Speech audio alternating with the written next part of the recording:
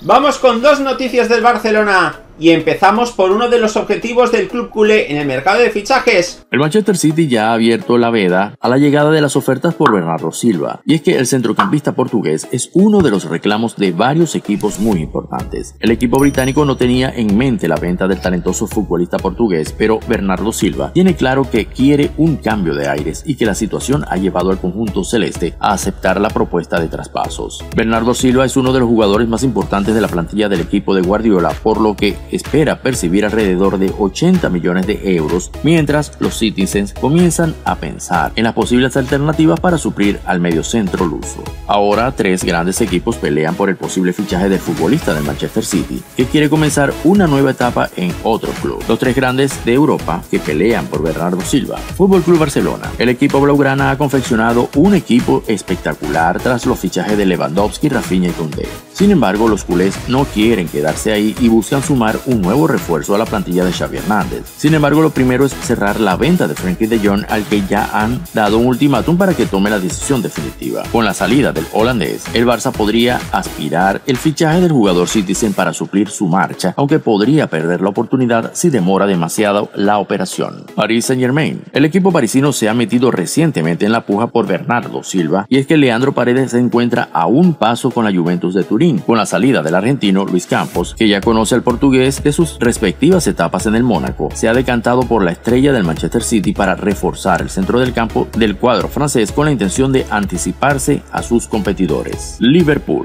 El conjunto de Jurgen Klopp podría ser el último en unirse al interés por el jugador portugués. La oportunidad es buena, ya que Bernardo Silva quiere marcharse y podría ser un gran refuerzo en la combinación con el cerrado fichaje de Darwin Núñez. Los Reds se quedaron a las puertas de ganar la Premier y esta vez el alemán quiere asegurarse de conseguir el título de la liga inglesa. Por tanto, competencia para el Barcelona por Bernardo Silva, tres clubes grandes de Europa que pujan por el portugués. Y ya para acabar vamos a hablar de los tremendos datos que ha dejado la presentación de Robert Lewandowski en el Camp Nou. El delantero polaco Robert Lewandowski, el gran fichaje del Barcelona, vivió este viernes su primer gran día en el Spotify Camp Nou, donde se dieron cita más de 55.000 espectadores, una presentación de las más multitudinarias en la historia de la entidad azulgrana. Según el club catalán, se retiraron 59.026 entradas para asistir a la presentación. La asistencia al estadio estuvo durante el acto de presentación del ex del Bayern a la altura de las grandes presentaciones en los últimos años. Se acercaron un poco menos que cuando Diego Armando Maradona vistió aquella camiseta Meiva en 1982, aunque entonces la presentación fue conjunta de todo el equipo. Para ver los primeros toques de Lewandowski con el 9,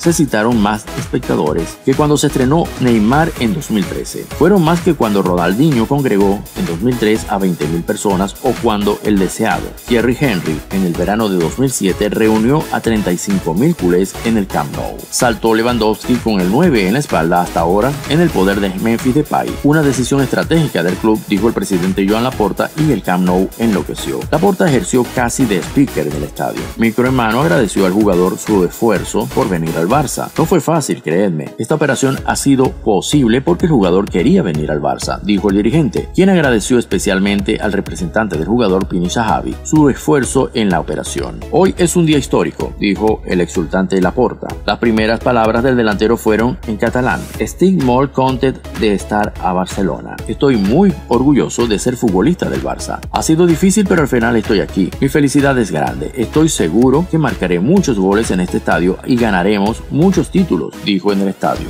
Después, en la salida de prensa, admitió que el cariño de los espectadores había sido increíble y que se había sentido emocionado durante la presentación. Es difícil encontrar las palabras. Cuando vi el proyecto tomé la decisión. Sé que el Barça viene de un momento difícil, pero todo irá mucho mejor. Mis compañeros tienen mucho potencial y con este equipo podemos hacer cosas muy buenas, opinó. Lewandowski no siente la edad que tiene y considera que Barcelona era el siguiente paso perfecto en su carrera. Estoy muy satisfecho, insistió. El presidente del Barcelona comentó que la incorporación de Lewandowski era especial por su carisma y ambición. Destacó que es un futbolista elegante y respetuoso. Lo hemos visto, la gente está entusiasmada. Estamos ante una nueva etapa y él es una de las referencias, insistió el dirigente azulgrana. Por tanto, la presentación del polaco que batió todos los registros